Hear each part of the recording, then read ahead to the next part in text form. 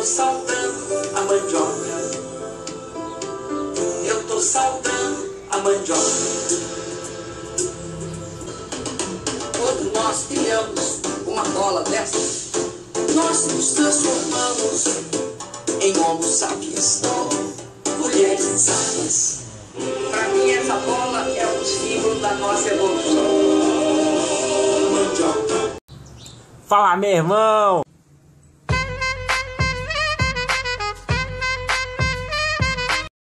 Pois é, essa aqui é a nossa presidenta, né? Aquela que fala tudo certo e que representa o Brasil, né?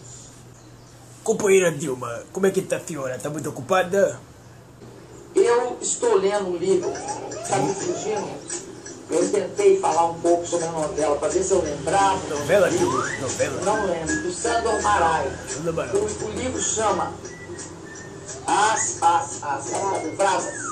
É, mais Brasas. Ah, sim. E aí, companheira Dilma, tá suave final de semana? Eu fui para Zurich e para Davos. Com dinheiro público, né, Dilma? Vai gastar o seu dinheiro pra viajar? Não pode, tem que gastar o dinheiro público. Agora, Dilma, estão fazendo protesto aí contra você, tá todo mundo contra aí. A coisa tá sempre do seu lado, não tá não? A conversa foi uma conversa muito interessante. Não, Dilma, só queria... Desligou. Essa Dilma é louca.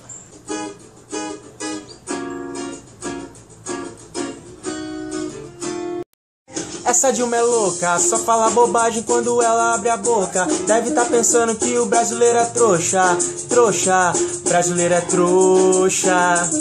Essa Dilma é louca, inteligência ela tem só que é pouca. Deve tá pensando que o brasileiro é trouxa, trouxa.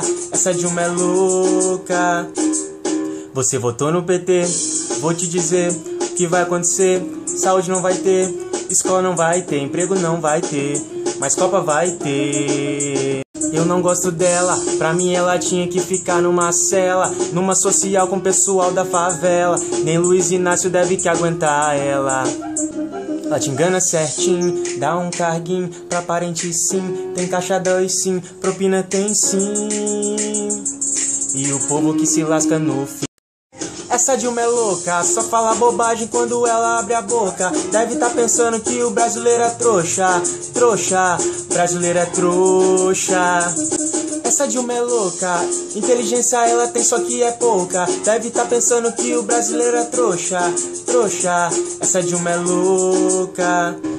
Ela foi eleita, a coisa tá preta, aqui só tem treta, tem um monte de processo na gaveta.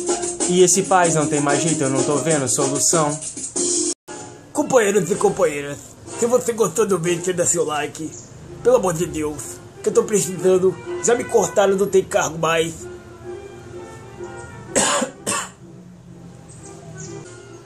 Eu tô quase sendo preso e a coisa não tá fácil. Valeu, falou!